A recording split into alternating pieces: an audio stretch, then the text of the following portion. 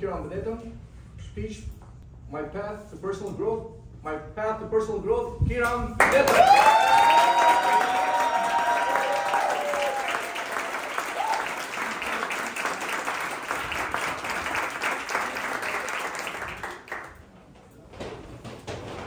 My dad always used to lecture me push harder, push harder, see how far you'll go. He didn't realize that I'll apply for Arizona State University. If you can imagine the globe like this, our hometown is here and Arizona is here, 10,000 miles away. I was ebullient when I got my visa to come to America. We had a great party. All my friends, relatives, everybody showed up. We celebrated all day. The guests left. My dad was sitting in a corner. And then I said, Dad, what happened? Are you okay? He said, I want to persuade you one last time to stay back. If you're here, I can take care of you all through your life. You'll have roof over your head, I can give you food, you'll never have any anything that you'll be missing in life. If you want to go, I can still support you.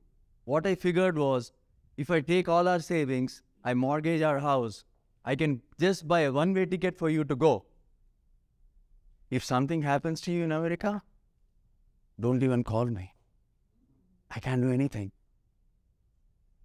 I was a 22 year old. What can you expect? I made up my mind. So here I am. I walked out of the ASU bookstore and then I wanted to find a job. And from inside the glass door, I see this guy with a pony walk out and he was like chasing me literally, saying, I am the manager at the Computing Commons. I need somebody to do customer support and tech support. would you be would you be willing to work? I said, I, I recognize he is desperate to find somebody. I started interviewing him. What made you think I can do computer support? He was shocked for a minute. He said, Are you from India? So I got the job. I became a very good friend of him, and he helped me a lot. I had a little book wherein I wrote down all the places I wanted to go. Uh, Statue of Liberty, White House, Pentagon, all these places I wanted to travel before my mom gets me married off to somebody with an arranged marriage. So time was clicking. So I shared with my ponytail Mike that how can I go there? He said, you know, do you have money? Just to fly to New York is going to cost you 300 bucks. I said, I found this Greyhound coupon, 69 bucks all through summer.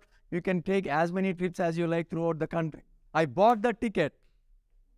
I lived in Greyhound for three months.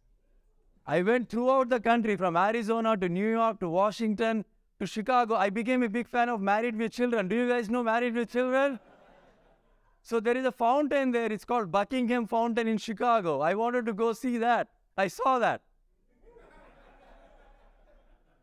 I came back home. I, I learned so much traveling through the country using Greyhound. After that, Greyhound abolished that coupon. They don't sell it anymore. So fast forward, then I graduated. I went to Intel. I met my wife, and then we worked there for five years. I wanted to have kids, start a family. My wife is a thinker. She said, We both work 50 hours each. How can you even imagine having a kid? How will we take care of them? She said, You always boast yourself to be the head of the family. Figure out a way wherein we can really have a family. It's not like we sacrifice our life for an employer. So I took it upon myself. I went to all conferences to learn about investments, how to quit your job, everything. So we started investing in real estate. And we got lucky. We started making money hand over fist. Then I quit Intel, thinking that's how life is going to be forever. It worked out well for us, and then after we resigned Intel, all our friends started flocking to our house. Hey, how are you doing these investments? How did you quit Intel? Because it's a dream job. Nobody in Chandler would quit Intel, that to both wife and husband. So I started sharing how we did it, and market was floating. Every advice that I gave was coming out to be true because market was growing. It, it was nothing about me. Then I figured, why why shouldn't I start making money out of this free advice I'm giving out people? Then we started a real estate brokerage. Then we started a mortgage company. Then we started a title company. Then people started noticing us and they gave us the Arizona Real Estate Achievement Award in 2013. It was a big deal. Then I met, met somebody who is starting a hospice, who made a community difference. Then I got hooked to that. We got into the hospice business. After all this happened, then we got into other businesses like Makutus and commercial real estate, everything. And I had things head over my heels, literally. So the first lesson that I learned is having more is not really more. Then my wife said, We've always wanted to travel. And I wanted to travel. So we went to 28 countries. And in the process, I didn't want my kids to be hanging out in the school. We pulled them out of the school so that we can travel. It's really groundbreaking for my family because all of us are big into academics and it was really nobody liked us thinking we are weird, but we did that. And my kids want to do business with me, and I'm so happy that they're following us along. My wife has become extremely spiritual, and whatever she says, I follow. I met all my old friends, old friends. I just showed up to Chicago, called my friend, hey, I'm in Chicago for a business meeting. Are you okay to meet me?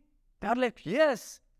So I met all my friends, all my old friends, because I had nothing going on. Nobody would hear me at my house. So I might as well travel. Then I decided to join Toastmasters because people can hear me talk without me anybody interrupting.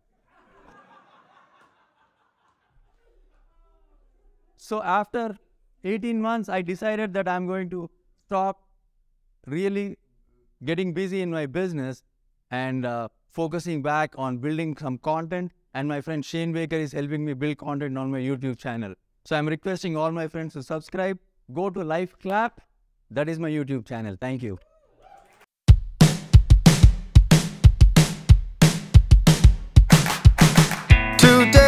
gonna be a little